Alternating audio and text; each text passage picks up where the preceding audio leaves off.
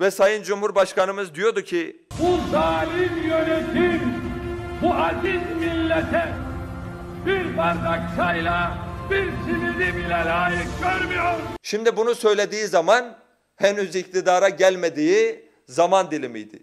Ama Sayın Erdoğan iktidara geldi.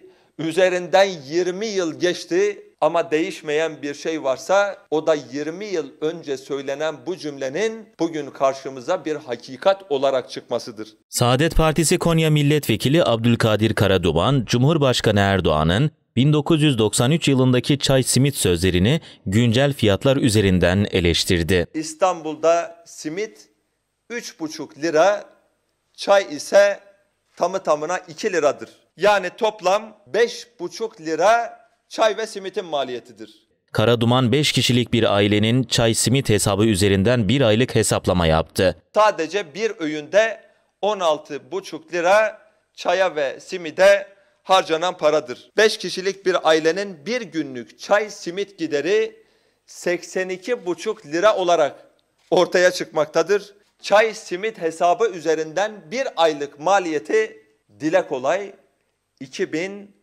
2425 liradır. Ay 30 gün ne yapar?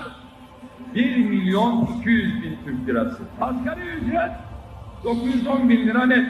3 öğün yalnızca çay ve simit yiyen 5 kişilik ailenin aylık maliyeti 2475 lirayı buldu. Asgari ücret 2825 lirayken 2475 lirayı çaya ve simide verdiklerinde Allah aşkına evin kirasını kim ödeyecek? Elektriğin faturasını kim ödeyecek?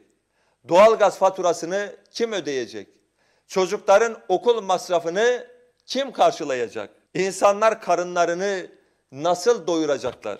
Allah'tan korkun. Karaduman Erdoğan'ın sözlerini hatırlatarak iktidara seslendi. Bu zulüm yönetimi, bu zalim düzen insanlarımıza bir çayı ve bir simidi bile layık görmeyen bir düzendir.